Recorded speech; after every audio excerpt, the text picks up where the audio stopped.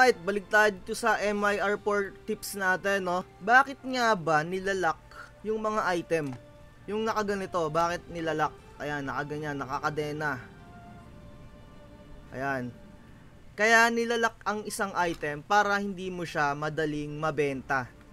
Kasi, halimbawa, kakaloots nyo, ayan, marami na kayong naluloots. Tapos, para mabilis nyo kasi siyang ibenta, di ba, iniisa-isa nyo, baka mapindot nyo yung sell kaya nilalak yung isang item. Kagaya nito, kapag nakalock siya, pag sinesell mo siya, ayan o, oh, hindi siya mabebenta.